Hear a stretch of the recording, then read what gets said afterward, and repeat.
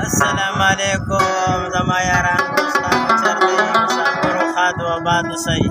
دا مې صاحب ملګري دي ساجد دي دوبۍ کې سعودي کې ټول یاران دوستان دي دی په فرمایش د پریم دي ټول یارانو دوستانو دا مې سرې کوم والسلام